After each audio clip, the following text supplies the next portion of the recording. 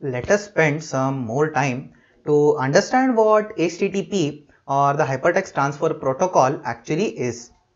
So now whenever we are looking at HTTP, it essentially is a way to get information from a server or to establish communication between two different points. So now whenever you look at an HTTP or a hypertext transfer protocol then essentially you can notice that it is always a request or and response based process. Okay, so over here you have one particular server which makes a request onto a different machine and then the other machine caters some response back to this particular machine. So unless you make a request, you will not get a response. And this is the fundamental working principle of HTTP. So now in HTTP, there are a lot of different types of requests, but the main two different types of requests which are used are GET and POST request. Okay, so a GET request is used when you just want to get some data from the server. A POST request is used when you want to give some data back to the server.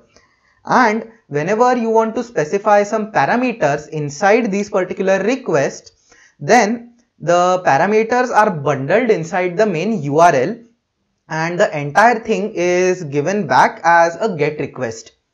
So now over here whenever we get any type of response from an HTTP server, it essentially has the following characteristics or the following objects.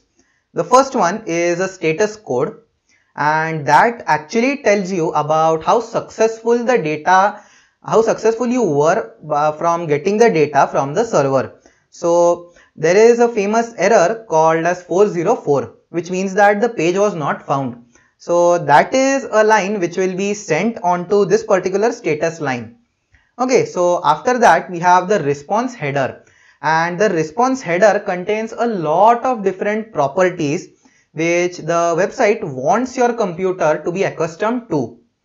So something like the cookies or the date of the request or the time of the request followed by what request you have done. And if you have some specific objects established as do not track me or something of that sort and all of these things are given back to your computer from the response header.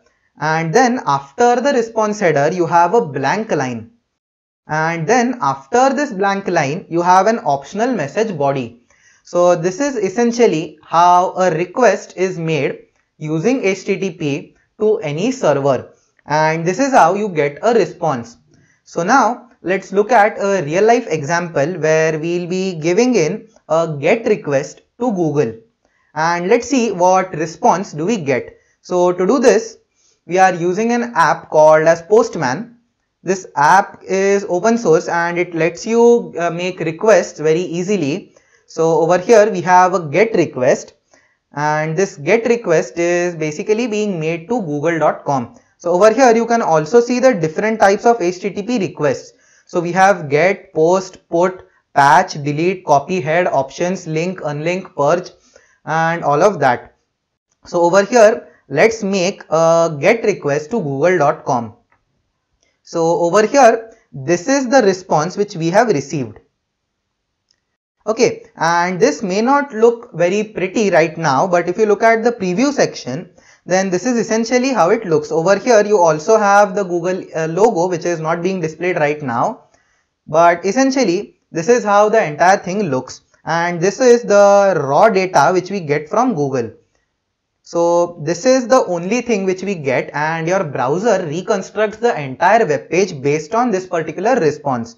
So over here if you look at the response you first of all have a lot of different header files then you have the style and then you have the HTML followed by some JavaScript over here.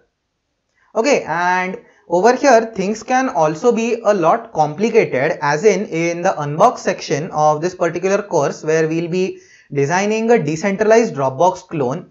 We are going to be creating a JavaScript file and onto that JavaScript file we are then going to convert it onto a different type of file which is around 200,000 lines long. So similarly, we'll be getting a lot of different content, especially JavaScript content on this particular response tag. And over here, if you look at the response, you can essentially see that there are a lot of different aspects to it. So if we look at the headers of this particular response or the body or the pre-request tag, then you can see that we are getting a lot of different things and this is essentially the point which I wanted to get across about HTTP which is that it is very good while doing network communication because it has all of these things built in like the status line then the response header and all of these things can together make the web experience a little bit better. And yes that is pretty much it about HTTP it is used to communicate data in between two or more nodes.